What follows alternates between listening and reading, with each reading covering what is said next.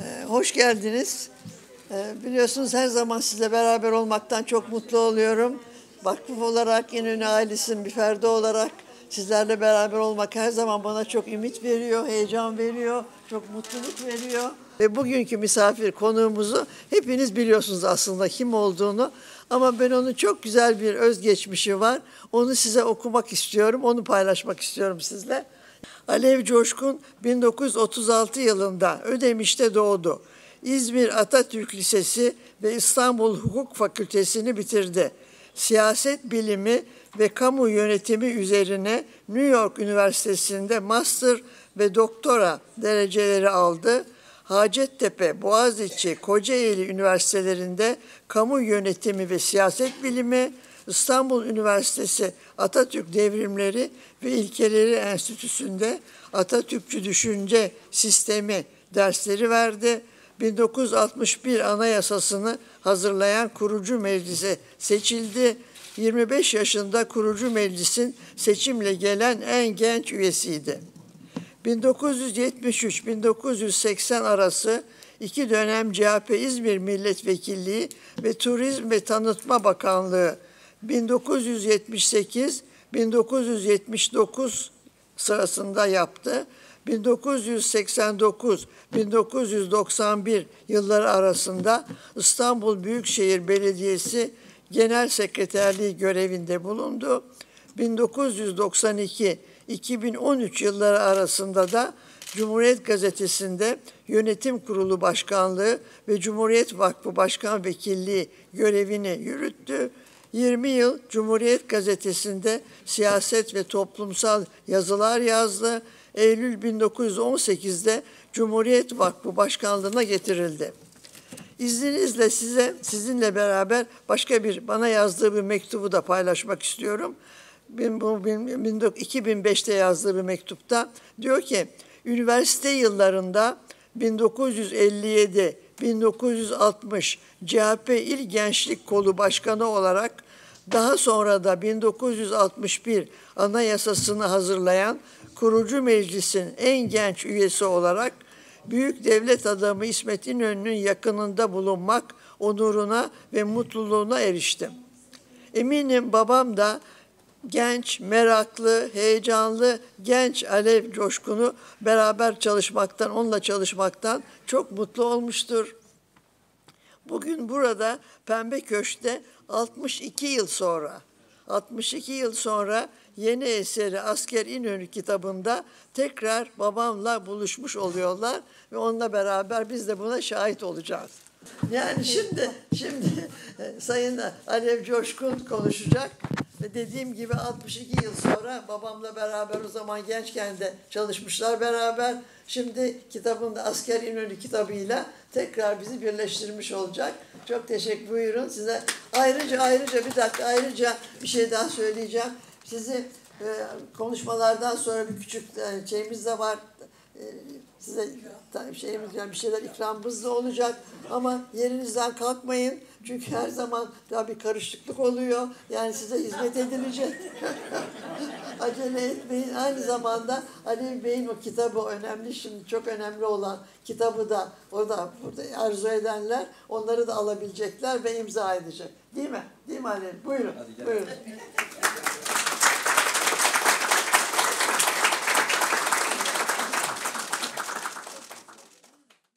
Efendim e, saygılar sunuyorum hepinize. Çok e, benim için heyecanlı ve çok önemli bir toplantı. Çünkü burada eski dostlarım var, eski büyüklerim var. Kendisine çok saygı duyduğum kişiler var. Onur duyduğum insanlar var. Bu derece üst düzey bir toplantıda konuşmaktan e, binlerce, yüzlerce politikadan geldiğim için toplantıda konuşmalar yaptım ama gerçekten bugün heyecanlıyım yani şu anda. E, öncelikle e, ben e, İnönü Vakfı'na vakıf başkanı e, Özden Toker'e ve Gülsüm Bilgehan'a özellikle teşekkür etmek istiyorum. Bu toplantıyı bize e, getirdiler. Bu toplantıyı bize sundular. Şimdi değerli dostlarım buraya gelirken tarih aklıma geldi. Bugün 14 Nisan 2019. Peki bir ay sonra ne olacak? 14 Mayıs 2019. Yani 1950'nin üzerinden tam 69 yıl geçmiş olacak. Aynı zamanda bugün son yaptığımız seçimin ikinci haftası. Fakat bir türlü mazbata verilemiyor. Adeta mazbata gasp edildi. Oysa 69 yıl önce bu binada bu binanın sahibi olan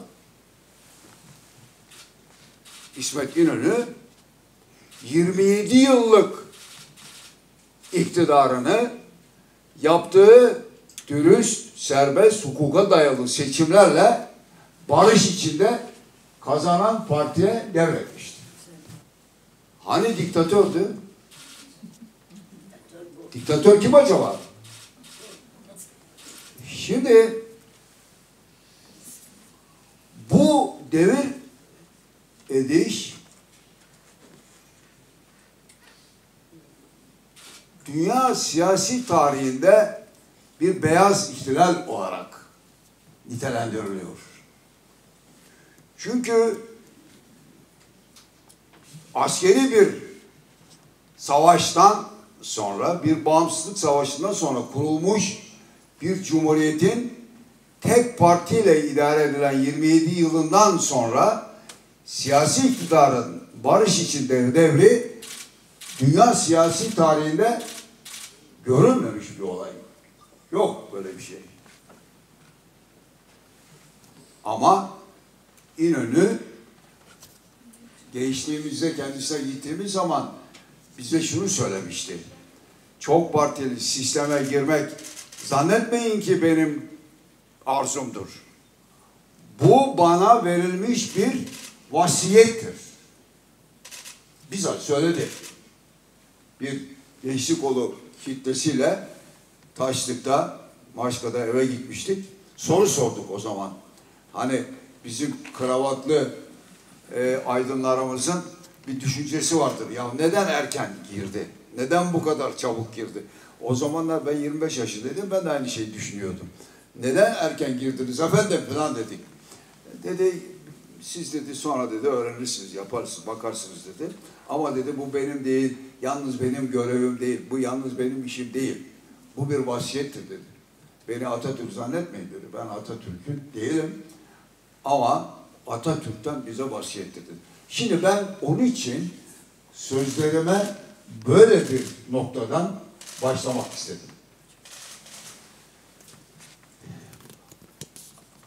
Onun için şunu da ifade etmek istiyorum.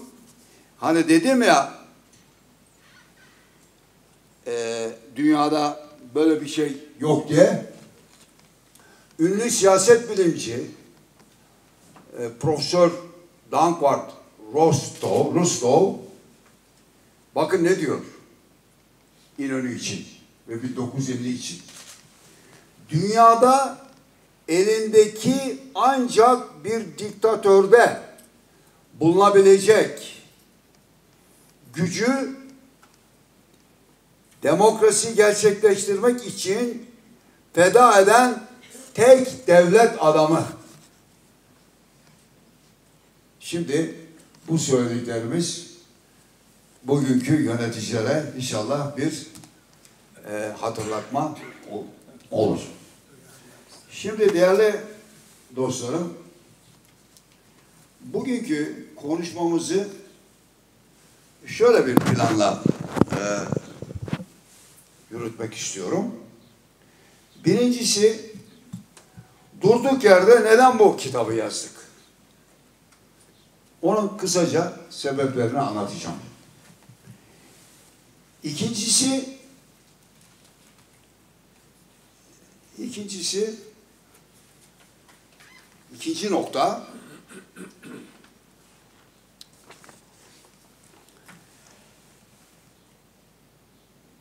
bu Atatürk İnönü ilişkisinin başlangıcı nedir ve sebebi nedir?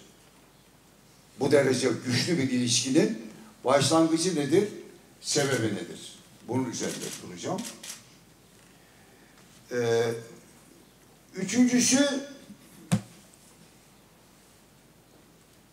aile. Kısaca aile üzerinde durmak istiyorum. Ee, İnönü ailesi, Mevve Hanım, bunlar üzerinde durmak istiyorum. En sonunda da Sayın Özden Toker'in benden istediği bir nokta var. E, Dediler ki e, eksik olmasın bizi dün gece ağırladılar. Bu tarihi binada bir akşam yemeği e, verdiler. Bizim için çok onur verici bir olay.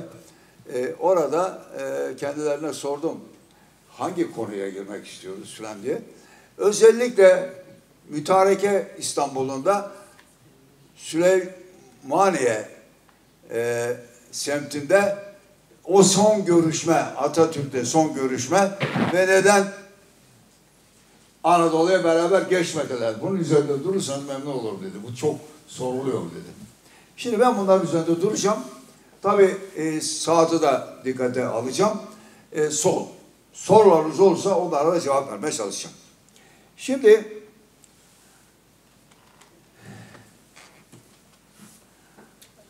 önce aileden başlayalım. Ha, önce neden yazdım onu anlatacağım. Eğer izin verirseniz daha rahat olmak için ben oturayım, sohbet gibi olsun. Çünkü böyle olunca sanki böyle yukarıdan bir e, şey gibi oluyor. Oturayım rahat rahat e, sohbet gibi konuşalım. Şimdi arkadaşlar biliyorsunuz ki Atatürk'e dokunamayanlar, Atatürk'e saldıramayanlar daima hedeflerine İnönü'yü almışlardır. Bu uzun yıllar böyle devam etti. Atatürk'e Atatürk'ü bir kenara bıraktılar. Onun yerine İnönü'ye saldırdılar. Ama son yıllarda bu değişti. Değişti. Nasıl oldu? Artık son yıllara kadar Atatürk'e dokunamayanlar artık ikisine birden saldırmaya başladılar. Şimdi iki ayyaş söylemi bunun en tipik e, simgesidir. İki ayyaş nedir iki ayyaş? Atatürk'le İnönü oturmuşlar. E, ikisi imza atmışlar. Cumhuriyeti kurmuşlar. Olay bu. Ama çok ağır bir söylem. Bugünlerde biliyorsunuz padişahlık, halifelik aşkıyla yanıp tutuşanlar çok. 95 yıllık para- parantez benzetmesi yapanlar var. Keşke İstiklal Savaşı'nı yapmasaydık diyenler var. Keşke Yunan galip gelseydi diyenler var. Bu derece ileriye götürdüler. Kimileri de Türkiye Cumhuriyeti'nin kuruluş belgesi olan Lozan'ı hezimettir diye niteliyorlar.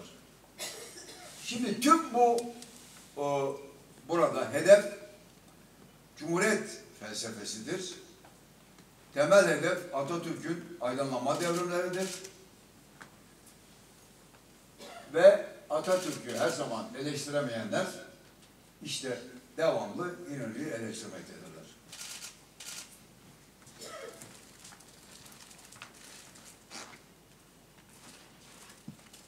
Şimdi bu İnönü'yü tabii eleştirmeleri ne doğal onların mantık çizgisinde doğal görünüyor. Neden? Çünkü İnönü Cumhuriyet'in kuruluşunda imzası var. Cumhuriyet'ten sonra ilk başbakan 14-15 yıl başbakanlık yapmış. Daha sonra Cumhurbaşkanlığı yapmış. Bütün aydınlanma devrimlerinin kurucusu, yaratıcısı, önderi Mustafa Kemal Atatürk ama onun eylemcisi, devrimin eylemcisi, devrimin uygulayıcısı İsmet İnönü, başbakan. Bu nedenle, bu nedenle ona saldırmalarını e, gö- görüyoruz. Şimdi arkadaşlar, bütün dünyada bakıyoruz ki bir ülkenin kurucularına karşı saygı gösterilir. Örnek vermek istiyorum. Mesela Amerika'da e, 1787 anayasasını yapan e, ve Amerikan anayasasını yapan ve Amerika Birleşik Devletleri'ni kuran kurucular George Washington, Alexander Hamilton, James Madison, Thomas Jefferson gibi bunlara founding fathers diyorlar. Yani kurucu baba. Ve bunlara dokunulmaz. Bunlara laf söylenmez. Ama geldi gitti iki ayaş çıktı ortaya.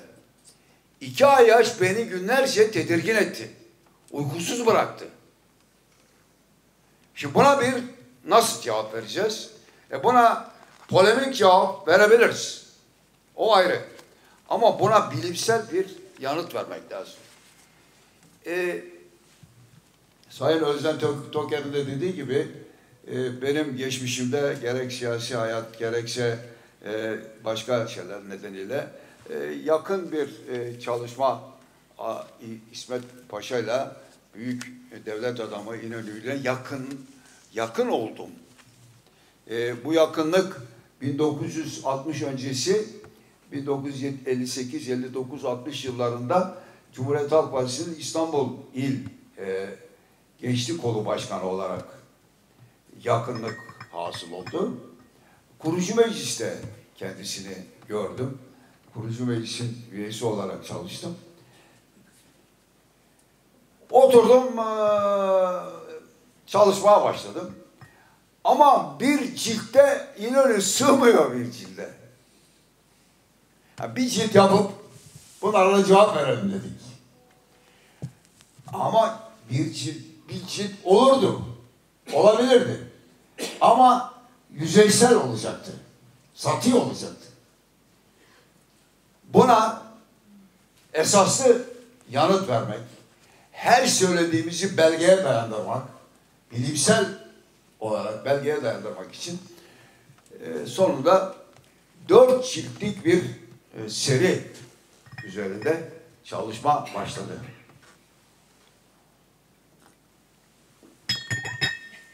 Bu gördüğünüz asker İnönü doğumundan Mudanya e, Antlaşması'nın ateşkesinin sonuna kadardır. E, aşağı yukarı bin, bin, bin kadar e, dipnot vardır. Her söylenen cümlenin, paragrafın bir belgesi konmuştur oraya. Belge vardır. İkinci bö, bö, kitap Lozan olacak. Lozan. E, Lozan'ı da ya 150-200 sayfalık bir kitap yapmak istedik olmuyor. Yani benim söylediğim metodoloji çerçevesinde olmuyor. O da yine bir 600 sayfalık kitap olacak. Üçüncüsü devrimlerin uygulanması. Devrimlerin uygulanması 1923 1946. Çok önemli. Emperyalist güçlerin isyanları başlattığı dönemler. Tabii dördüncü nokta da çok çok çok önemli. 946-960 çok partili sistemin siyasi tarihi.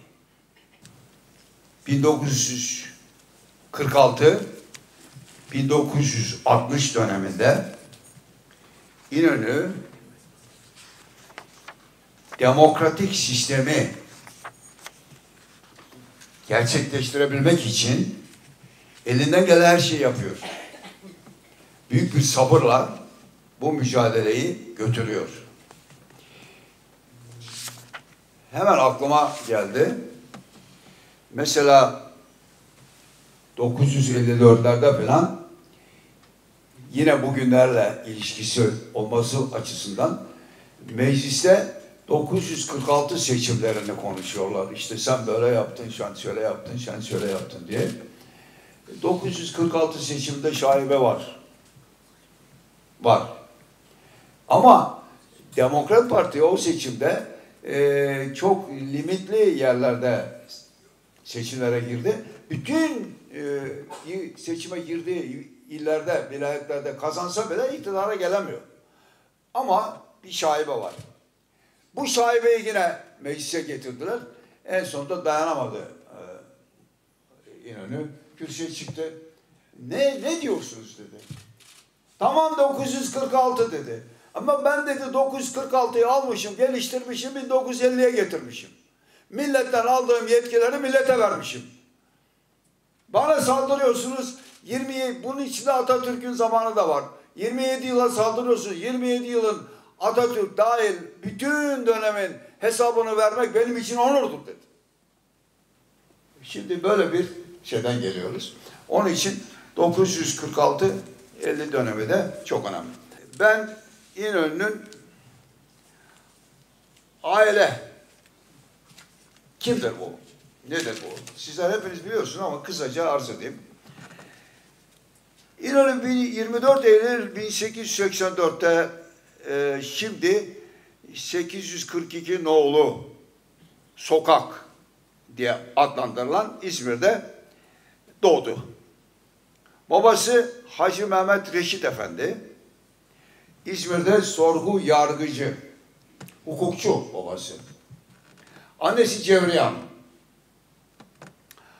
Baba tarafı yani Mehmet Reşit Efendi Bitlis'te yaşayan Kürümoğulları ailesinden geliyor. Bu aile 300 350 yıldır yaşayan köklü bir aile. Hacı Mehmet Reşit Efendi'nin babası Hacı Abdullah Efendi'dir. Bitlis'ten Malatya'ya göç etmiştir. Bu Hacı Abdullah Efendi açık fikirli bir kişi. Oğlu Reşit Efendi'yi okutuyor. Reşit Efendi Malatya'da doğdu, okutuyor ve dediğim gibi hukukçu. İstanbul'da okutuyor. Şimdi annesi Cevriyan Bulgaristan'ın kuzeyinde yaşayan Deli Orman Türklerinden.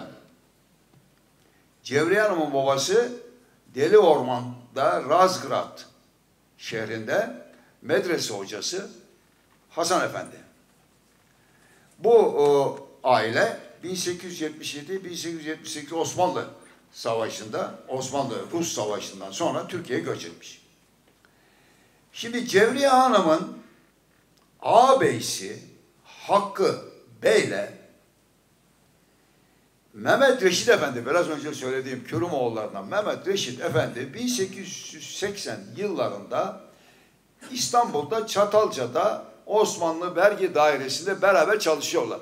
Yani Reşit Efendi fakülteden, okuldan mezun olmuş, Çatalca'da çalışıyor, görevli. Hakkı Bey de Cevriye Hanım'ın abisi Hakkı Bey de aynı yerde çalışıyor.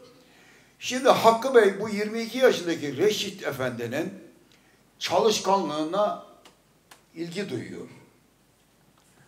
Ve aynı biriminde çalıştığı bu Mehmet Reşit Efendi'yi beğeniyor.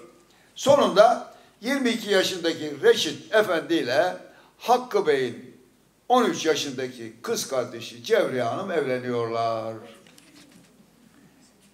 Bakın şimdi 120 yıl önceden bahsediyoruz değil mi? 1884 yani daha fazla. Şimdi Osmanlı'nın en e, doğusundaki Bitlis'ten, Malatya'dan Osmanlı en batısındaki Razgrad'daki iki aile birleşiyor. Yani bu aynı zamanda aynı zamanda ayrımcılık gidenlere çok güzel bir cevap yani. Yanıt bu. Peki sonra ne oldu? İşte Reşit Efendi İzmir'de işte şeyden Çatalca'dan sonra İzmir'e tayin oldu. İzmir'de e, İsmet Efendi, İsmet Bey ikinci oğulları doğdu. Daha sonra Sivas'a gittiler filan. Uzatmayalım. Sonra İsmet Bey, İsmet Efendi okudu. Harbiye'yi bitirdi. Mühendishane-i Berru Hümayun'u bitirdi. Ve albay 31 yaşında albay oldu. Albay Mustafa İsmet yine aynı semtte e, Mevhibe Hanım'la 19 yaşındaki Mevhibe Hanım'la evlendiler. Hatta İsmet İnönü'nün hatıralarında diyor ki ben diyor e, onu görmeden evlenmem diyor. Annesi bu işi şey yapıyor. E şimdi o dönemde de düşünün yani 1916'dan bahsediyoruz. Yani nasıl bunlar oturacaklar, konuşacaklar. Sonunda bir formül buluyorlar. Ee, Mevhibe Hanım'ı ve ailesi onların evine geliyor. Mustafa İsmet Bey de, efendi de anahtar deliğinden bakıyor. Mevhibe Hanım'ı anahtar deliğinden görüyor. Hatıralarında İnönü diye der ki bugünkü nesil benim o anahtar deliğinden Mevhibe Hanım'ı seyretmemi anlayamaz. Ama çok zor bir iştir diyor. zor bir iştir diyor. Yani çok enteresan bir şey.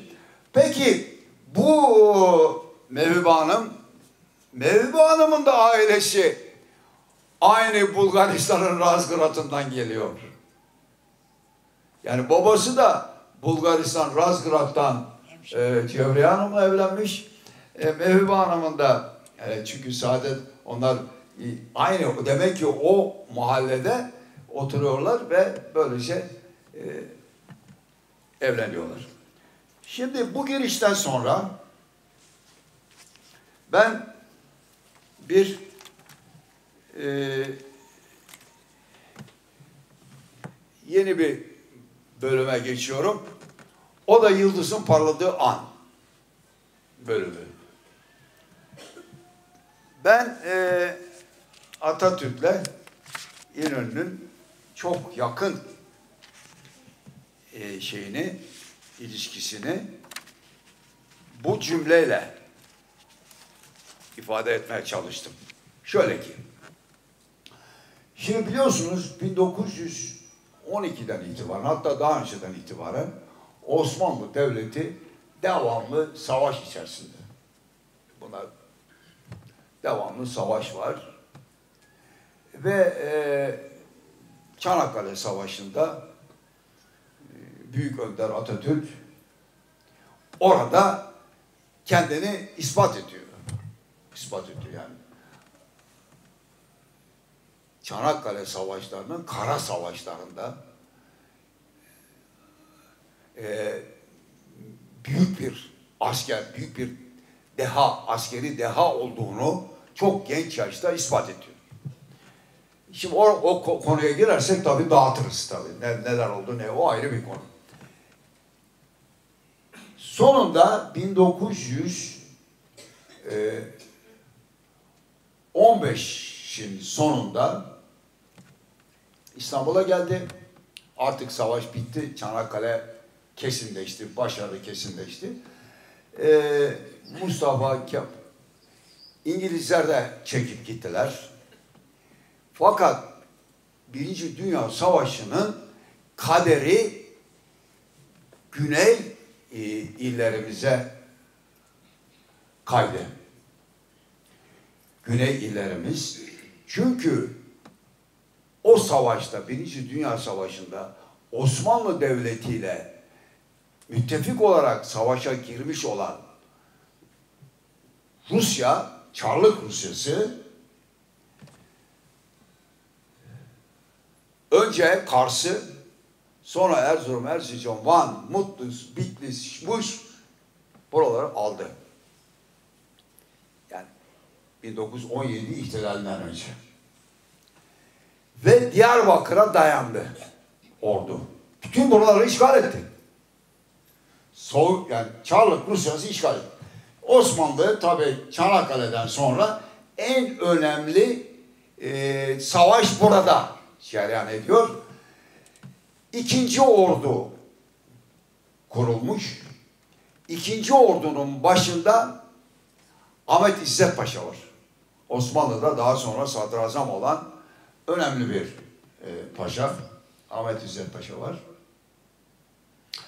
Ve Mustafa Kemal'i de Enver'le aralarında sürtüşme var. Buna rağmen orada ikinci ordunun içerisindeki kol ordu komutanlığına tayin ettiler. Oraya gitti, sanıyorum Silvan'da gitti. E, genç e, ordunun genç kesimi de Mustafa Kemal'in hakkının verilmesini isteyen bir hareket içerisindeler ve mecbur oldular Mustafa Kemal'e e, paşalık ünvanını verdiler. Bu ta, tahmini, tahmin olarak 1916'nın e, Nisan ayı filan. Mustafa Kemal orada da çok büyük başarılar gösterdi. Muş'u geri aldı, Bitlis'i geri aldı filan. Ayrı bir konu, ayrı uzun bir konu. Şimdi ben buraları atlıyorum. Aralık 1916'ya geliyorum. Aralık 1916'da ordu komutanı ordu komutanı Ahmet İzzet Paşa ben yine yine yine ayağa kalkayım. Arkadaki arkadaşlarımı da görmek istiyorum. Onları da şey bırakmak istemiyorum. Şimdi efendim ordu komutanı bir sağlık izni aldı. 15 gün İstanbul'a geldi. Peki şimdi nasıl oluyor bu iş? Ordu komutanı İstanbul'a gidince vekaleten birisinin bakması lazım. Kim vekal, vekalet yapacak? Kol ordu komutanı Mustafa Kemal'e dediler ki ordu orduya vekalet etmek üzere git Diyarbakır'a. Güzel. Her şey sistem içinde yürüyor. Diyarbakır'a gitti Mustafa Kemal. Kim karşılayacak? Kim karşılar? Ordu ya vekalet edecek. E, ordunun kurmay başkanı karşılayacak değil mi efendim? Hoş geldiniz diyecek falan. Ordu kurmay başkanı kim? Albay İsmet Bey. Albay İsmet Bey ordu kurmay başkanı. Hoş geldiniz dedi. O gece istirahat etti. Ertesi sabah bir briefing verildi. Briefing şu. İkinci ordunun durumu. Çarlık Rusyası ordularının konumu. Nerelerde bulunuyorlar? Sonunda bunları briefing, bu briefingi kim verir? Kurma başkanı. Doğal olarak. Briefingi verdi. Orada aynı zamanda şunu da söyledi. Efendim ordumuzun bir projesi var, bir planı var. Önümüzde kış ayları, kış geliyor, ağır bir kış olabilir. eğer Çarlık Rusyası'ndan bir saldırı olursa şu andaki mevzilerimiz e, doğal koşullar olarak doğru yerlerde değil. Bizim bir planımız var. O planımıza göre biraz geri çekilmemiz lazım filan falan falan. Askeri bir şey. Mustafa Kemal dedi ki e bu plan doğru. Doğru. Ama neden uygulamadınız? Neden uygulamadınız? Efendim İsmet Paşa, İsmet İnönü o zaman paşa değil. İsmet Bey e işte filan falan. Dedi ki bu planı hemen uygulayalım. Siz bir emirname yazın dedi. Şimdi burada enteresan bir şey bakın. Anahtar. Bu dakikadan sonra Mustafa Kemal'in kendi kelimeleriyle anlatmaya çalışacağım gelişmeyi. 1926 yılında Fahri Rıfkı Atay'a bunları anlattı Mustafa Kemal. Fahri Rıfkı Atay da 1926 yılında Hakimiyeti Milliye'de ve ondan sonra e, aynı zamanda Millet Millet Millet e, e, aynı zamanda şey gazetesinde, Cumhuriyet gazetesinde de, Milliyet gazetesinde de aynı zamanda bu tefrika şeklinde yayınlandı. E, bu bunu biz Fahri Rıfkı'nın bu yazdıklarını daha sonra Cumhuriyet Gazetesi Atatürk'ün bana anlattıkları diye kitap halinde biz dağıtmıştık bunu. Şimdi burada diyor ki zaman geçti diyor. Bir türlü gelmiyor diyor. Şey için, İsmet Bey için. Cevat'ı çağırdım. Cevat kim? Cevat Abbas. Başyaver. Git bak şuna dedim. Aynı cümleler. Cevat Abbas geri dönüyor. Cevat Abbas diyor ki Efendim masasının başına oturmuş iki başını iki elinin arasında almış kumrular gibi düşünüyor. Kelimeleri aynen veriyorum. Fahri Rıfkı'ya diyor ki ben İsmet'i o zaman biraz şüpheyle karşılardım. Çünkü İsmet'i Enver'in yakını olarak görüyordum. Çünkü değerli arkadaşlar biliyorsunuz Birinci Dünya Savaşı'nın çok önemli bir bölümünde e, İsmet e, Bey binbaşı olarak e, Genelkurmay Başkanlığında Genelkurmay Başkanlığında ha, Harekat Şubesi Başkanı. Zaten hep liderler, büyük liderler böyle mühendis kafası olan ikinci adamları tutarlar. Enver Paşa tutuyor, e, Ahmet İzzet Paşa tutuyor falan. Ben onu öyle görürdüm diyor. Fahri Rıfkı öyle yazılmış. Yani ben bir şey ilave etmiyorum. Ama diyor düşünmekte haklı. Çünkü vatan toprağını terk edeceğiz. Vatan toprağını terk edeceğiz. Tabii ikinci bir sebep daha var. İsmet Efendi diyor ki ya bu 15 gün için vekaleten gelmiş bir kumandan. Şimdi zehri tedbirler alıyor. Neden beklemiyor 15 gün daha Ahmet İsmet Paşa gelmesini beklemiyor diye kendi kafasında düşünüyor. Cevat Abbas'a dedim ki git söyle ona eğer yazamıyorsa emirnameyi yazamıyorsa gelsin ben dikte ettireceğim. Tabii Cevat Abbas gitti İsmet Bey'e bunu söyledim. Şimdi tabii ben burada çok değerli bürokrasinin içerisinde çok üst noktalara kadar yükselmiş burada çok değerli e, büyüklerim var, abilerim var, kardeşlerim var. Onlar benim bu anlatımda böyle yüzlerini gülümsüyorlar yani olayı kafalarında canlandırıyor bürokratik sistem içerisinde. Ondan sonra Mustafa İsmet yazmaya başlıyor.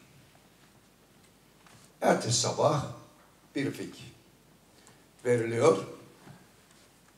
Fahri Rıfı diyor ki şey, Atatürk, eğer o emirnameyi ben yazsaydım bu kadar güzel yazamazdım. İşte ondan sonra orası, o nokta yıldızın parladığı andır. İki tane bir iki tane birinci adam. Ben bu şeyi kabul etmiyorum. Birinci adam, ikinci adam tabirini kabul etmiyorum. Şevket Süreya'ya çok büyük saygım var tabii. Bir yazar diyor ki, bu kitapta var o. Bunlar diyor iki tane biri, iki birinci adam, ikinci adam değiller bunlar diyor. Bunlar değişik alanlarda iki tane birinci adamdır diyor. Birbirini tamamlayan ikinci birinci adamdır diyor. E zaten ondan sonra da onu bırakmadı. Bırakmadı. Ee, kaderin cilvesi Mustafa Kemal bu 1916'daki bu görevini 1918'e kadar devamlı olarak bu Diyarbakır Suriye cephesinde hep güneyde geçirdi. İki, iki buçuk yıl. Devamlı da Mustafa Kemal'le Mustafa İsmet beraber oldular. Mesela, mesela en son görev Filistin'de Yıldırım Orduları Komutanlığı'nda 7. Ordu Komutanı Mustafa Kemal iki tane kolordu komutanı var kendisine bağlı. Ali Fuat Cebesoy, Mustafa İsmet. Çok yakın oldular. Fikirler beraber oldu. Düşünceler beraber oldu. Kaderin cilvesi beraber oldu. Yıldızın parladığı an Türk Türk Türk camiası için yıldızın parladığı an gerçekleşti. Bu iki devlet adamının birleşmesiyle. Nitekim hatırlarsınız ee, şeyin Atatürk'ün verdiği şeyi 1916-17'de Mustafa Kemal'in e, İnönü için verdiği sicil çok değerlidir. Hepiniz bilirsiniz hatırlarsınız. Ciddi, faal, her türlü görevi yapma hazır, memleketi için istikbalde çok kıymetli olacak diye konuşmuştur. Şimdi buraya kadar e, böylece bu çok önemli günü noktayı da o tarihten sonra zaten hiç ayrılmıyorlar. Şimdi ben şöyle bir şey ayrılmıyorlar ayrılmadıkları gibi arkadaşlıkları, dostlukları, düşünce sistemi bir çekişle örsün böyle cephede, savaş cephesinde dövüldüğü bir noktada birbirleriyle birleşiyorlar. Savaşta beraberler. Mesela şimdi Atatürk'ün hatıralarında gözlerim yaşla, yaşla her okuyuşta tüylerim diken diken gibi olur. Çünkü o Yıldırım Orduları'nın komutanı, dört üç tane komutan vardır. Dördüncü ordu komutanı Cemal e, e, Çobanlı Paşa, şey, Cemal Çobanlı Paşa, yedinci ordu Mustafa Kemal, sekizinci ordu Mersin Cemal. Mersinli Cemal'le Cemal Çobanlı dayanamıyorlar, kaçıyorlar. Bir tek kalan Mustafa Kemal. Ve iki ordu, ve iki kol ordu. Ve en ön cephede de İsmet İnönü. İsmet, İsmet İnönü 3-5 gün kayıp. Kayboluyor, yok. O kadar üzülüyor ki Mustafa Kemal. Kayıp çünkü saldırı, İngilizlerin saldırısı onların cepheyi toparlayıp tekrar geri dönüp gelmesi Mustafa Kemal'i çok mutlu ediyor. Zaten Mustafa Kemal bakın ne diyor? Komutanlık nitelikleri. Feyzi Çakmak kendisi ve İnönü'yü şöyle tarif etmiş. İzin verirseniz okuyacağım. Savaşta bir tümen bir köprüyü geçecektir. Ben hemen emir verir köprüyü geçiririm. Mustafa Kemal. Feyzi Paşa Önce bir tabur asker geçirir köprüden. Yıkılmazsa tümeni yürütür. İsmet Paşa gelince önce köprünün sağlamlık derecesini ölçmeye, ne kadar yüke dayanabileceğini bulmaya çalışır. Sonra tümenin ağırlığını hesaplar. Güven duyarsa tümeni köprüden geçirir. Ben zamandan kazanırım. Kazandığım zamandan yararlanmaya çalışırım. Şansım bana gülmezse işim zordur. Feyzi Paşa bir yandan zamandan kazanmak ister, bir yandan da az yitik vermenin yollarını arar. İsmet Paşa ise hesap adamıdır. Hesap adamıdır. Bir tek eri bile ileri sürerken ölçü elinden bırakmaz. Ama geç de olsa sonunda kazanmasını bilir. İşte durum bu. Şimdi tabi zamanınızı da almak istemiyorum.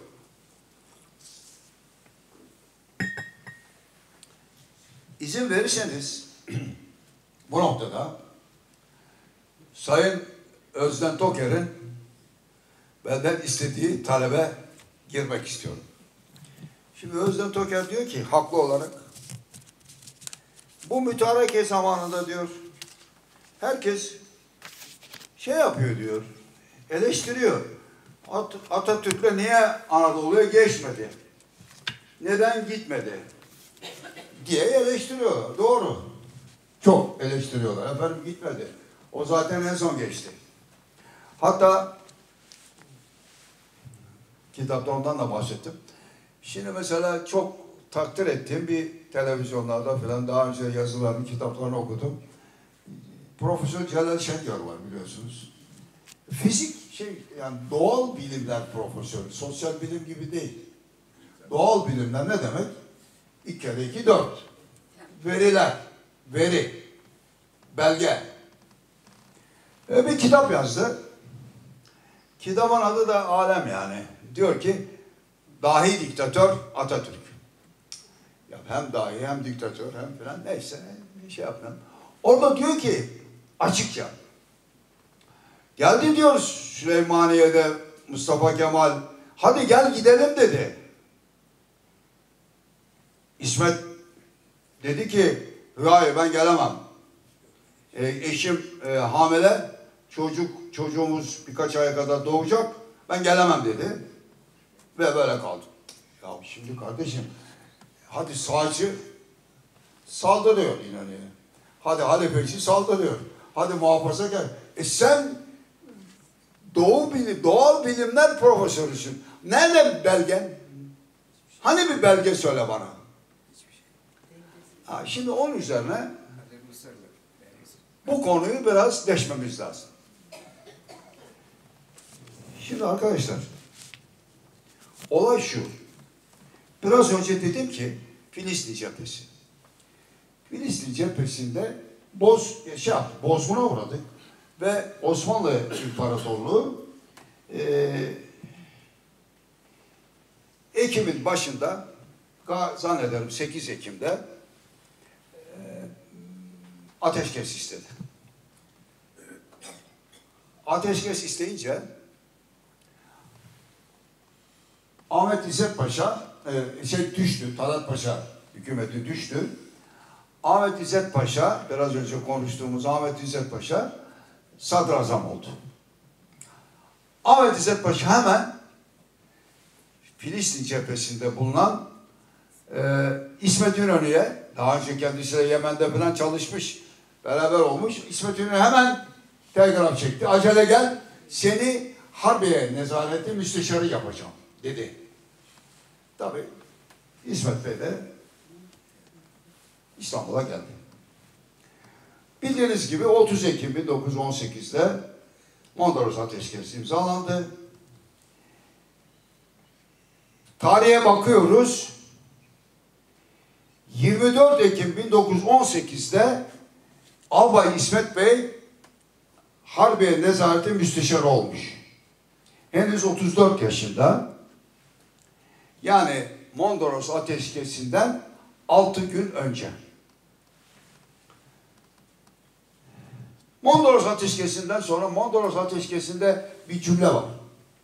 Diyor ki Alman generaller bu anlaşma imzalandığı dakikadan itibaren görevleri bırakacaklardır. Çünkü bütün Alman generaller Osmanlı e, tabi o sırada Yıldırım Orduları Komutanı Limon von Sanders bırakıyor işini. 31 Ekim'de de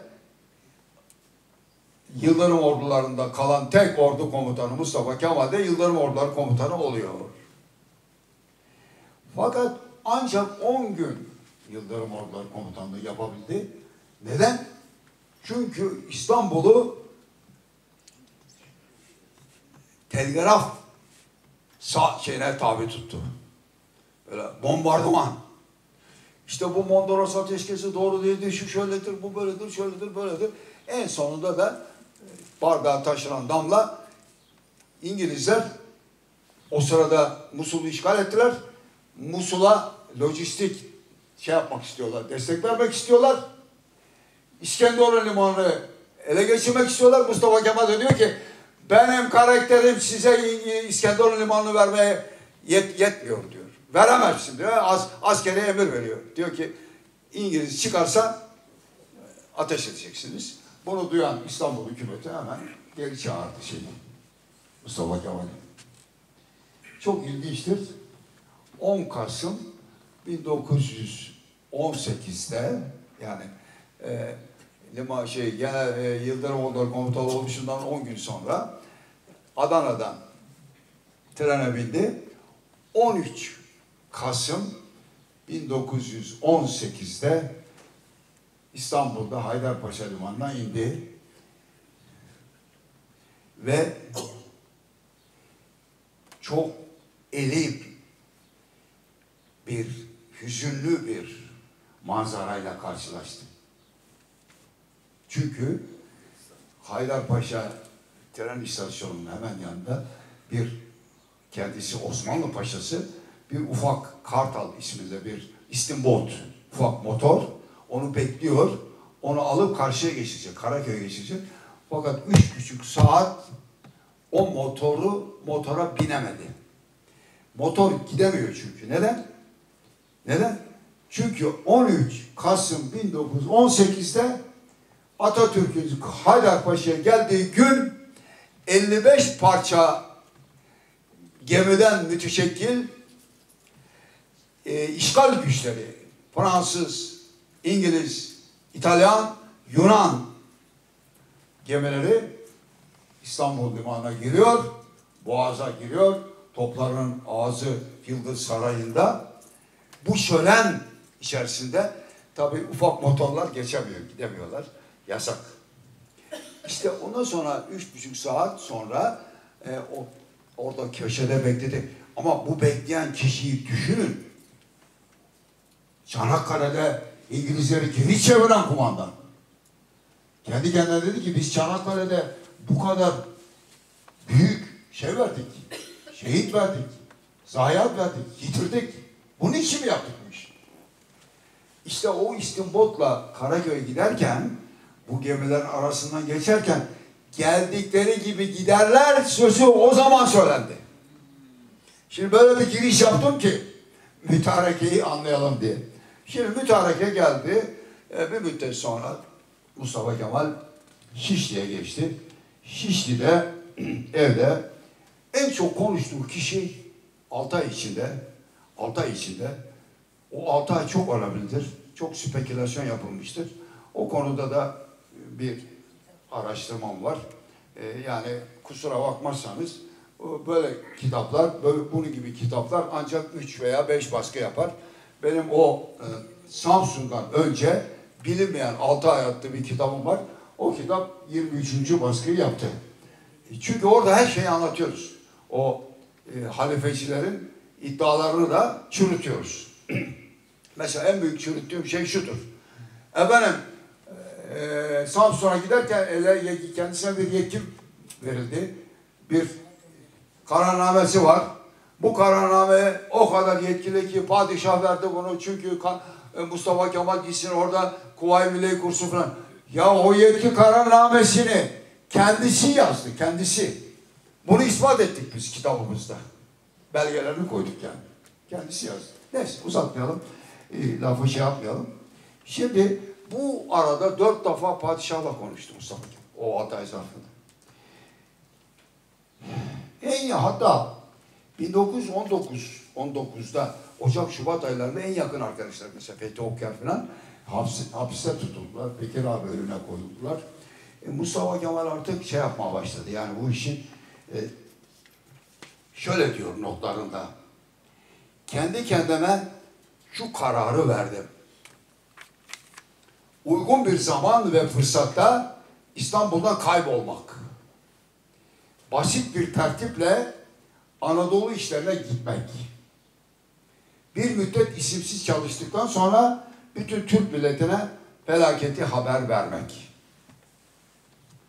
Tabi bunu gerçekleştirmek için Ocak 1919'da hatırlarsınız İsmet Bey'i şeyi çağırıyor. Zaten kendi hatıralarına da en çok konuştuğum kişi İsmet, İsmet'ti diyor 6 ay için. Orada İsmet'e soruyor, anlatıyor. Diyor ki işte ben böyle yapacağım, şöyle yapacağım. Acaba ne, nasıl gidelim, nasıl yapalım? Ee, Mustafa İsmet hemen ha- haritalar şey yapıyorlar. Hatta cebinden Atatürk diyor ki cebinden pergel çıkardı diyor. Mühendis ya Mustafa İsmet. Pergel çıkardı diyor. Atatürk diyor ki daha dur diyor pergellik zaman değil demiş. Ben sana nereden gidilir? Ee, çok meşhur bir cevabı var. Bir süre cevap vermiyor. Şöyle bir 5-10 dakika. 10 dakika sonra diyor ki yollar çok, mıntıkalar çok diyor. Yani sen İstanbul, Anadolu'ya geçeceksen geçiş için yollar çok. Bu işi organize edeceksen mıntıkalar çok. Şimdi böyle bir durum. Bu kadar yakın birbirlerine. Peki nasıl oldu da nasıl oldu da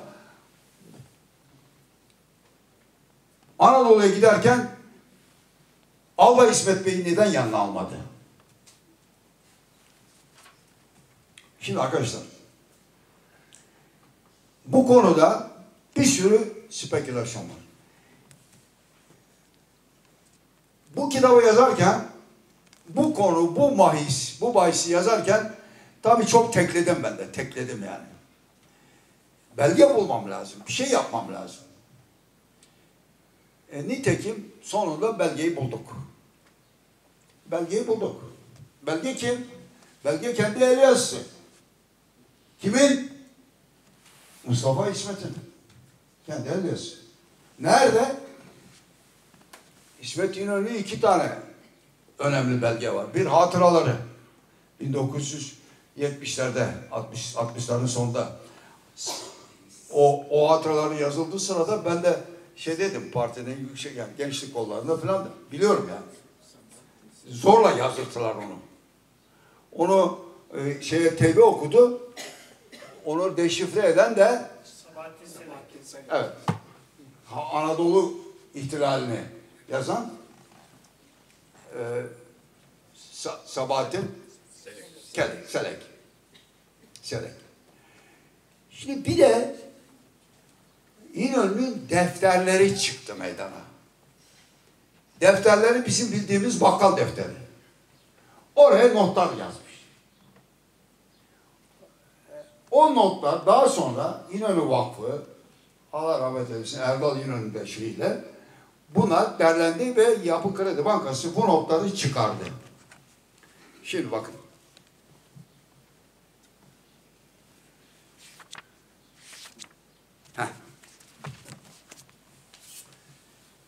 Şimdi 28 Nisan 1919 Pazartesi. İsmet Paşa yazmış. Şimdi unutmayalım. 28 27 Nisan'da Mustafa Kemal'i Harbiye Nazırı eee Gürcüz Şakir Paşa çağırır ve kendisine bu görevi tevdi eder. Yani şeye gideceği görevi tevdi eder. Anadolu'ya gidecek. Hatta o, o zaman o da diyor ki paşam bu bu görev için nasıl bir kararname? E git diyor kararnameyi Genelkurmay Başkanı'na yaz diyor. Yazın yazın diyor. Genelkurmay Başkanı Feyzi Çakmak o sırada. Fakat Feyzi Çakmak makamında değil. ikinci başkan Diyarbakırlı Kazım Paşa, Kazım İnanç. O kararnameyi yazarken Fahri Rıfkı'ya diyor ki Kazım İnanç'ın yanına girdim. Kapıyı kapattım. Kulağına her şeyi söyledim. Ve yazmaya başladık diyor. Peki Kazım İnanç Genelkurmay ikinci başkan bu e, İsmet Atatürk orada artık işini kaybetmiş bir eski eski paşa. Nasıl oluyor bu yakınlık? Çok yakınlar. Nereden yakınlar? Çünkü Kazım Paşa Diyarbakırlı Kazım Paşa çok akıllı. Genelkurmay o Harbiye Nezareti onu Almanya'ya göndermiş. Almanya'da Alman Harp Akademisi'ni bitirmiş. Birinci Dünya Savaşı'nda Alman generaller Türkiye'ye geldiği zaman Almanca bilen subaya ihtiyaç var. Limon von Sanders'in kurma başkanı olmuş. Çanakkale Savaşları'nda Limon von Sanders'in kurma başkanı. Hani o meşhur bir şey vardır. Anapartalardan önce e, telefon açarlar. Derler ki işte ne yapacağız? Sana soruyor kumandan. E, yapacağınız iş diyor bütün kuvvetleri bana vermektir.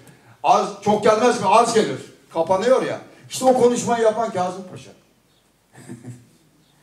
Filistin'deki o muharebelerde, o salda hepsi Kazım Paşa. Biliyor. Onun için Kazım Paşa ile çok yakınlar. Orada kararname yazıyorlar. Kararname yazıyorlar. Kararname yazılıp bittikten sonra istediğini yazdırıyor Mustafa Kemal. Şakir Paşa'ya gidiyorlar şey. Harbiye Nazırı'na. 20 dakika sonra diyor Atatürk yine anlatıyor Fahri Rıfkı'ya. Ya uzatıyor muyum arkadaşlar? Uzatıyor muyum? Kısa kesebilirim ama. Neyse bağlayacağım. Bağlayacağım. İzin verirseniz bağlayacağım. Yani bir yerden bir yere atlıyorum ama mecburen. Bunu da söylemek istedim. Şimdi Ka Kürşü Şakir Paşa'dan 20 dakika sonra Kazım Paşa geldi odasına. Odada Mustafa Kemal oturuyor. Mustafa Kemal'e dedi ki imza atmadı dedi. Kararname imza atmadı dedi. Yazdıklar kararname. Ama dedi mührünü verdi dedi. Mustafa Kemal dedi ki mührü verdiyse tamam dedi. Tamam dedi. Ondan sonra üç dakika geçmedi. Mustafa Kemal dedi ki ya Kazım Paşa dedi şu maddeyi de ilave edebilir miyiz dedi. O madde ne biliyor musunuz? Bütün kumandanların dışında bütün ülke amirlere de emir verme maddesi. O zaman Kazım Paşa dedi ki paşam dedi ama dedi Harbiye Nazırı'na dedi bunu dedi söylemedik dedi. Nasıl yaparız dedi. İki dakika suskunluk oldu. İki dakika sonra Kazım Paşa çünkü mesele vatan olduğu zaman ötekiler teferruat. Kazım Paşa dedi ki paşam paşam yazalım yazalım dedi. Yazdı. Bunlar 1926'da çıktı meydan. Şimdi böyle bir durumda demek ki 27'sinde 28'de bu işler olurken 29 Nisan pazartesi günü kendi el yazısıyla tırnak içinde veriyorum. İnönü'nün yazısı. Gece Fuat Beylere Cevat Bey çağırdı. Benim kitabın 233. sayfasında. Mustafa Kemal Paşa tarafından yeni teklif ettikleri müfettiş memuriyetini görüştük. Yani Cevat dediği, Cevat Bey dediği, Cevat Bey dediğine göre Cevat Abbas. Böyle görünüyor yani. Beraber gitmeyi kabul etmem. Ben kabul etmiyorum diyor yani. Beraber gitmeyi kabul etmiyorum diyor. Açıkça söylüyor, kendisi söylüyor İnönü. Ne diye? Şey koymuş. Soru işareti koymuş. Mütemayil olsam, yani istekli görürsem, erken harbiye riyasetini teklif edecekler. Ama ortada Atatürk yok. Ortada Cevat Abbas var. Yani burada ne oluyor? Başyaver Cevat Abbas'la konuşuyor. İstekli olsam kurmay başkanı falan. Fakat daha sonra bu 29'unda 3 Mayıs'ta yeni bir kağıt not görüyoruz. Aynı defterde. 3 Mayıs. Yani 4 gün sonra. Aynen şöyle. Bugün dairemde Mustafa Kemal Paşa ile görüştük. Yani demek ki Harbiye nezaretine Mustafa Kemal gelmiş. Bugün dairemde Mustafa Kemal ile görüştük. Müfettişliği takarrur etti. Eski Osmanlı tabiriyle müfettişliği gerçekleşti yani. Kararlaştırıldı. Talimat yazıldı. Ya şimdi burası önemli. Fahrettin Bey tepkil hava değişimi istiyormuş. Fahrettin Bey dedi, Fahrettin Altay. Beni üçüncü kol orduya istiyorlar. Şimdi üçüncü kol albay olunca ne oluyor? Kol ordu komutanı oluyor. Muafık buldum. Kabul ettim diyor yani. Yani gidecek onunla beraber. Akşam babam ile görüştüm. Muvaffakat verdi. Yani babası da peki diyor. İbrahim Talip Bey de gidiyor. İbrahim Talip Bey dedi, albay, bir albay, e, e, doktor albay İbrahim Talip Öngören. Şimdi ayın ikisiyle 15'i arası, 15'inde Süleymaniye geldi biliyorsunuz, eve geldi. 12 günde bir şey oluyor. Mustafa Kemal heyetinin yapısını değiştiriyor. Görüyoruz ortaya. Heyet, kurduğu heyet askerlikten ziyade keşif heyeti, keşif ve örgüt heyeti. Şimdi düşünün siz. Böyle bir 15 kişilik heyetin içinde iki tane doktor var. Yahu iki doktora ne ihtiyaç var? Birisi İbrahim Talim'e gören albay, biri binbaşı e, Refik Saddam. Neden iki doktor var? Çünkü, çünkü bu iki doktor İttihat Terakki mensubu ve örgütçü. Mesela Hüsrev Gere de var, örgütçü. Bir tek şey var, mesela Kurmay Başkanı Kazım Dirik, Mustafa Kemal özellikle onu seçiyor. Kazım Dirik birinci askeriye, o günkü askeri sistem içinde örgütçü bir insan. Şimdi böyle bir, demek ki keşif için gidiyor. Demek ki oturmuşlar, konuşmuşlar. Ve demiş ki Mustafa Kemal sen burada kal. Nitekim bunu şeyde söylüyor. 15 e, Mayıs'ta geldiği zaman söylüyor. Şimdi buraya kadar belgeleri koyuyoruz, belgeleri koyduk. Şimdi yeni düşünceler, yeni belgeler. Diyelim ki bu e, yandaş veyahut da alternatif tarihçilerin dediği olsa, yani Mustafa Kemal İnönü'ye teklif etmiş, İnönü kabul etmemiş. Peki soruyorum şimdi. Bir, ilk isim Sivas Kongresi'nde çıkıyor İsmet İnönü'nün ismi. Şimdi Mustafa Kemal gitti. Mayıs, Haziran, Temmuz, Ağustos, Eylül dördüncü ayda Sivas Kongresi. Sivas Kongresi'nden sonra biliyorsunuz hükümet değişti. Değişen hükümetin üç kişilik heyeti Amasya'ya geldi. Amasya'da Mustafa Kemal yanında Rauf Orbay ve e, Bekir Sami Bey ile beraber gittiler. Konuşmaya başladılar. O konuşmalarda İnönü ismi çıkıyor meydana. Neden? Mustafa Kemal diyor ki İnönü'yü yeni kuracağınız hükümette ya Genelkurmay Başkanı yapın yahut da Ma Harbiye Nezareti Müsteşarı yapın diyor. Belgesi var mı? Var. İki. İki. O sırada Paris konferansı, Paris konferansı var. Paris, Paris konferansına oturuyorlar. Kim gitsin, kim gelsin. Onda da anlaşmaya varıyorlar. Şu konferans başkanı İsmail Atatürk diyor ki bu Paris konferansında askeri danışman olarak İsmet İnönü girecek diyor. Şimdi böyle bir şey olsa Mustafa Kemal'e hayır dese Sivas Kongresi'nde Mustafa Kemal onu böyle yapar mı? İki, başka bir örnek. Şimdi Mustafa Kemal kesiyorum, toparlıyorum, bitiriyorum yani. Mustafa Kemal Sivas'tan sonra Ankara'ya geldi biliyorsunuz. Ankara'ya geldi. Bütün temsil heyeti üyeleri hepsi milletvekili olmuşlar, nüfus olmuşlar. Hepsi İstanbul'a gittiler. Bir tek Mustafa Kemal gitmiyor. İşte Ocak 1920 Ocağı'nın başlarında meclis açılacak. 1920 Ocağı'nın 10'unda Mustafa İsmet'in, Albay İsmet Bey'in Ankara'ya geldiğini görüyoruz. Belge var mı? Var. En önemli belge Mustafa Kemal'in Karabekir'e çektiği telgraf. Çünkü Karabekir'in İsmet İnönü'yü sevdiğini biliyor.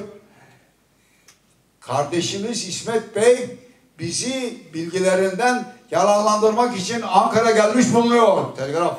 Var mı belge? Var. Genelkurmay'da duruyor.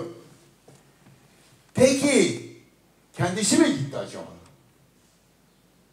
İnönü düşündü, taşındı. Ya ben gideyim de bu işi yanlış yaptım. Onun için de uğraştım. Yani kendisi mi gitti? Mustafa Kemal mi çağırdı? Belge bulmaya çalıştım. Belgesi var, bulduk. Nerede bulduk? Kılıç Ali'nin hatıralarında bulduk. Kılıç Ali'nin hatıralarında bu belgenin işi ne? Gayet doğal. Çünkü Muzaffer Kılıç, Kılıç Ali'nin e, kardeşi veya yeğeni Muzaffer Kılıç, Mustafa Kemal'in yaveri, baş yaveri. Kılıç hatıralarına var. Orada diyor ki Mustafa Kemal, bugünkü olaylarda gelişmeler var. Bunları görüşmek üzere sizi birkaç günlüğüne davet ediyorum diyor. Ankara'ya. Ayın 10'unda geliyor. Ve bir ay kadar kalıyor burada. Daha sonra İstanbul'a geri dönüyor. Kim dönüyor geriye? Nasıl dönüyor? Mustafa Kemal git diyor. Neden? Çünkü hükümet yeniden değişiyor. Veysi Çakmak Harbiye Nazırı oluyor. Yahut Genelkurmay Başkanı oluyor. Harbiye Nazırı oluyor.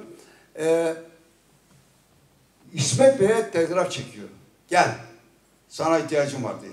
Demek ki A, İstanbul'dan gelirken bütün bu şeyleri e, oraya bilgileri vermiş. Şimdi arkadaşlar böyle bir şey olsa 29, 23 Nisan 1920'de meclis açıldığı zaman Atatürk kendisinin böyle bir teklifini reddeden İsmet İnönü'yü Genelkurmay Başkanı yapar mıydı? Seçimle Mustafa İsmet Genelkurmay Başkanı oldu. Değerli dostlarım, beni dinlediniz. Çok teşekkür ederim. Ee, gerçekten e, sizi e, yorduysam kusuruma bakmayın. Ee, sorularınız varsa onları da karşılamaya çalışacağım.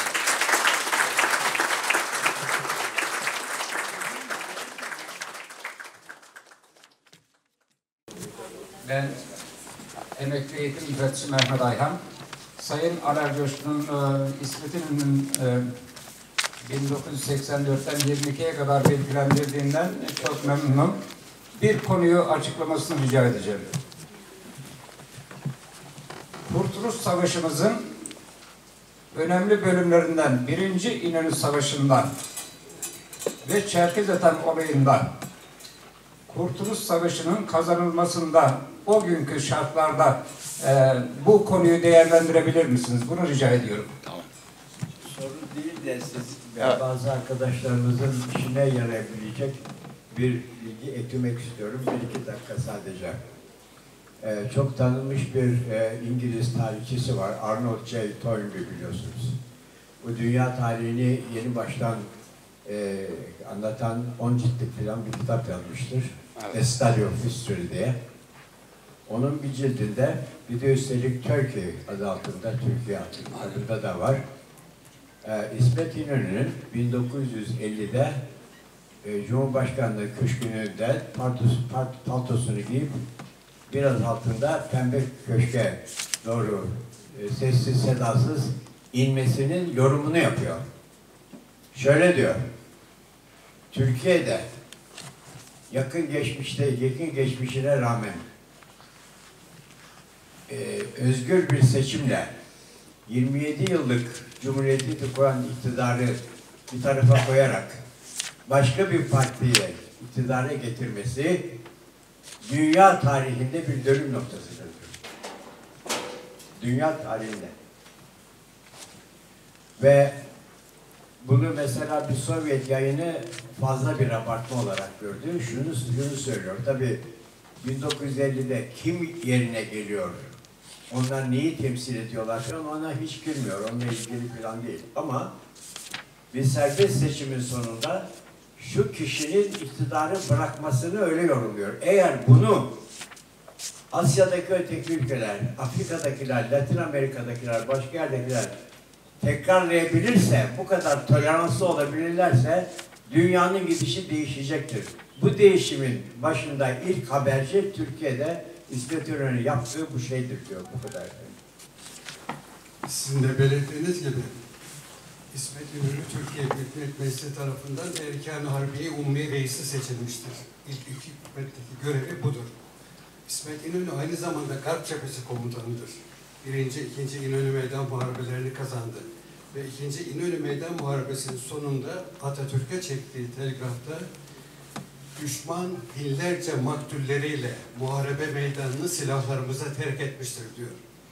Atatürk'ün ona çektiği telgrafta ise siz orada yalnız düşmanı değil, milletin maküs talihini yediniz. Bu dönüm noktasıdır. Bir de İsmet İnönü'nün bu askeri zaferlerin üstüne 1950'de söylediği bir söz var. Siz başta belirttiniz. Kendi iradesiyle Türkiye'de gerçekleştirdiği demokrasiye geçiş sürecinin ak devrimle sonuçlandığı 14 Mayıs 1950 Cumhuriyet Halk Partisi'nin kaybettiği bir seçimdir. İnönü o seçim için benim en büyük yenilgim, en büyük zaferimdir demiştir. Bunu diyebilen bir insandır. Çünkü Türkiye artık demokrasi gelmiştir. Ve onun ispatıdır. Bunu eklemek istedim. Çok teşekkür ederim. Çok teşekkür ediyorum Sayın Alev Coşkun'un bu açıklamaları e, e, çok katkı sağladı tarihimize. E, bu arada İsmet İnönü Atatürk ilişkilerinde son dönemde neden At e, İsmet Paşa gitmedi, sonra ne oldu? Bu konuya bir açıklık getirmek için İsmet İnönü ile 1973 yılında İnönü zaferleri konusunda yaptığım bir röportajda kendisine şu soruyu sordum.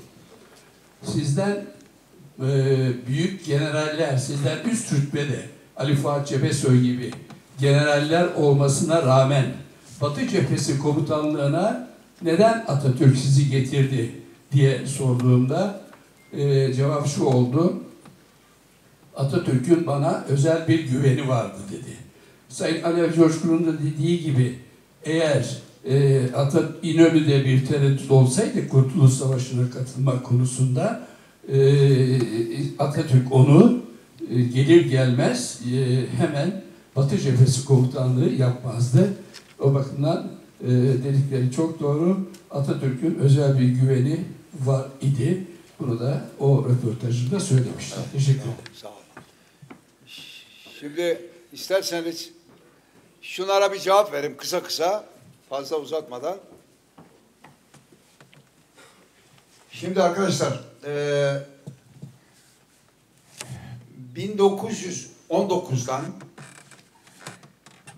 10 eee, Ocak 1921'e kadar geçen dönem aşağı yukarı 19 ay sürer. Bana göre milli mücadelemizin en zor dönemidir. En zor dönemidir. Neden? Hiçbir şey belli değil. İki tane İstanbul'da hükümet var. Padişah orada, halife orada. Ege bölgesi işgal altında. İstanbul işgal altında. Evet, meclis açılmış ama kafalar tam açık değil. Bir tek Mustafa Kemal'in kafası açık yani. Çünkü zorluklar o. Şimdi burada Bir de isyanlar devam ederken o isyanları e, bastıran bir de çetecilik hareketi var. Tabii Çerkeze'den de bu arada öne çıkıyor. Öne çıkıyor. Çünkü birinci e, meclisin elinde herhangi bir şey yok. Kuvvet yok.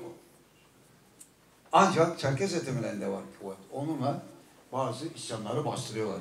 Hatta İsmet Paşa hatıralarında diyor ki öyle bir durum oldu ki diyor. Ankara'ya diyor alay valayla geldi diyor Çerkes'e tam diyor. Ben Mustafa Kemal'e Atatürk'e dedim ki şimdi bu memleketi kim idare ediyor? Biz mi idare ediyoruz? Burası bu bu bu çeteciler mi idare ediyor demiş. Atatürk'ün cevabı e, merak etme biz idare ediyoruz. Nasıl olur? Kuvvet onlarda bizim elimizde kuvvet yok. Ama akıl bizde demiş. Akıl bizde demiş.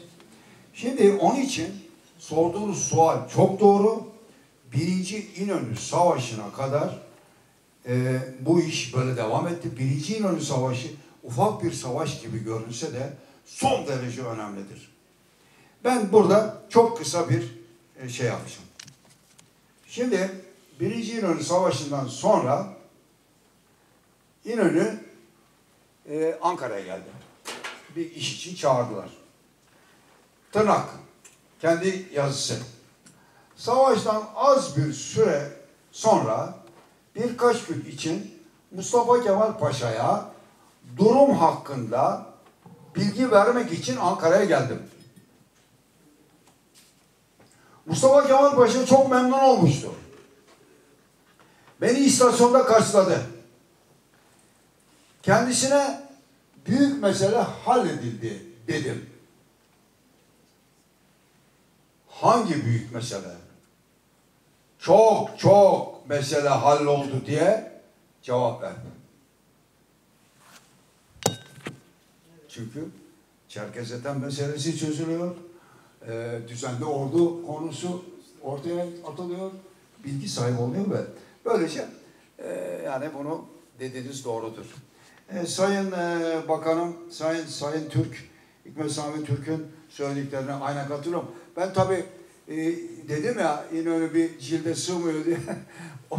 Abi hepsi her şeyi anlatmaya kalksam e, mümkün değil. Değerli hocam, çok değerli hocam. O da katkıda bulundu. Ona da çok teşekkür ediyorum. Efendim, e, şimdi aynı şekilde Sayın Kalk e, şey yaptı, o İnönü'yle Atatürk'ün e, son döneminde bir dargınlık meselesi var. Şimdi bu dargınlık meselesini iyi ki açtın. Ya bir belge yakaladık biz şimdi, yeni bir belge.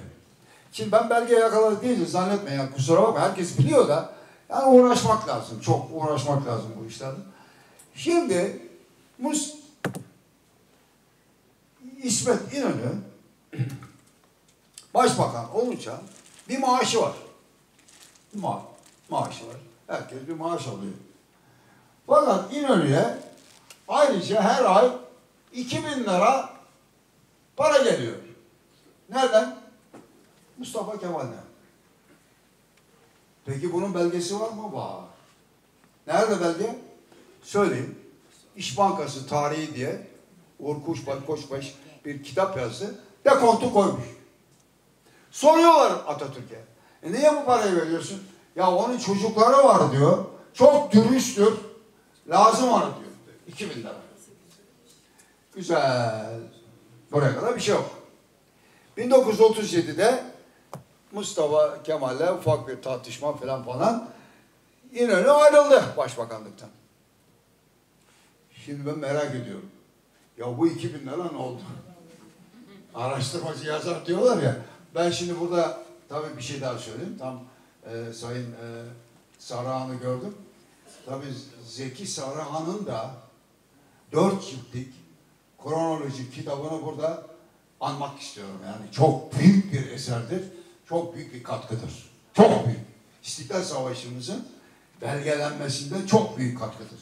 Türk Türk e, şeyler Türk Tarih Kurumu tarafından yayınlanmıştır. Onu da böylece parantez içinde ifade edeyim. Şimdi ya acaba bu 2000 liraya ne oldu? Ama hem dekont bulmamız lazım. Dekont. Dekont var. Bulduk. Başbakanlıktan ayrılınca 2000 lirayı Mustafa Kemal 3000 liraya çıkarmış. İş Bankası'na diyor ki bugünden itibaren benim hesabımdan 3000 lira gönder. Olay bu arkadaşlar. Olay bu. Efendim başka bir soru yoksa ben burayı çünkü bu iş bu sabaha kadar konuşulur. Bu iş bitmez. Sabaha kadar konuşulur. Ee, yalnız tabii şeyi yani bundan sonraki cilt Lozan. Sadece Lozan. Lozan'da neler oldu, nasıl oldu, nasıl yürüdü, nasıl geçti. Efendim Mussolini ile görüşmeleri, Poincaré ile görüşmeleri, Çiçerin ile görüşmeleri. Bir seferinde Çiçerin kızıyor. Çünkü çok e, milli çıkarlara dayalı konuşma yapıyor İnönü.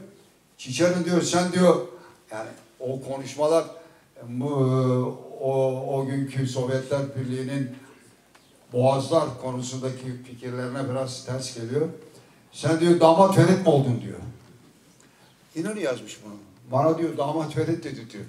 Ama diyor ben diyor Mustafa Kemal'le diyor konuştum diyor böyle yapmamız lazım. Yani, yani orada da çok ilginç böyle e, belgeler var. E, efendim beni dinlediniz. Çok teşekkür ediyorum. E, bu bizim tarihimiz. Bu bizim Kuvayi Milliye'miz. Bu bizim hayatımız. Bu gençlerimize anlatmamız lazım. Tekrar tekrar İnönü Vakfı'na teşekkürlerimi arz ediyorum. Bu pazar günü güzel bir günde zaman ayırdınız, geldiniz. Çok teşekkür ediyorum. Bu arada ortaokuldan sınıf arkadaşım ve sıra arkadaşım. Bakalım Ozan Sadıç benim resimlerimi çekiyor ama güzel çekiyor. Sınıf arkadaşım. Evet. Ozan Sadıç ma malum biliyorsunuz Türkiye'nin yetiştirdiği en değerli e, e, foto, foto sanatçısı. Efendim teşekkür ederim. Eğer e, imzalayacak e, kitap olursa onu da imzalamaya hazırım. Saygılar. Çok mühimdir.